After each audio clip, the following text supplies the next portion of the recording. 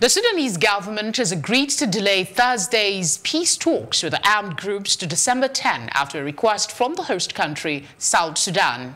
Sudan's Higher Peace Council said this in a statement by spokesperson Mohamed Al-Hassan Al-Taishi on Tuesday. South Sudan's capital, Juba, had been scheduled to host a new round of peace talks on Thursday between the Sudanese government and armed groups from Darfur, South Kordofan and Blue Nile regions. The government has agreed to delay the peace negotiations to December 10 at the request of the mediation.